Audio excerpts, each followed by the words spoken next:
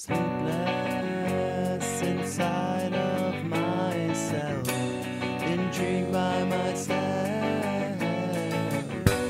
I'll turn.